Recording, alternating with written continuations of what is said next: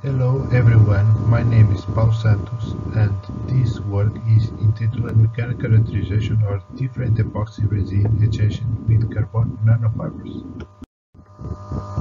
Why this work? Literature reports increase of mechanical properties when carbon nanoparticles are added to the epoxy resin. The goal of this concept is the improvement of the mechanical properties of the epoxy resin on adding carbon nanofibers. The manufacture process of the resins consists in four steps.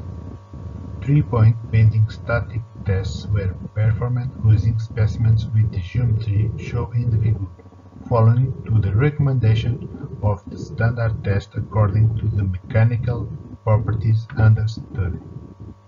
To observe the different curves that represent the different percentage by hand of carbon nanofibers added to the two types of resins.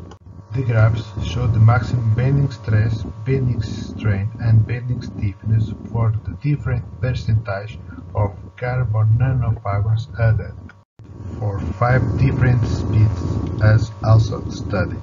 The graphs on the left shows representative curves for the five study speeds of the nanoresin Sicomin reinforced with 0.75 by hand of carbon nanofibers. In the graphs of the right, it's represented the comparison between the net resin and the nanoresin added with 0.75 by hand of carbon nanofiber for all speeds, carbon nanofibers for a stress of 15 megapascal or respective displacement.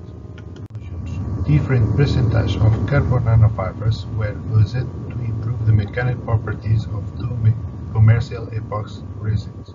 Independently of the epoxy resins, Weiger values of carbon nanofibers adapt to the resin remove Flexural stress and modulus. Regarding the strain rate sensitivity, it was possible to observe that both materials are strain rate sensitive. From the stress relaxation test, it is clear that stress is reduced over time, but when the carbon nanofibers are added to the resin, they are less prone to stress relaxation.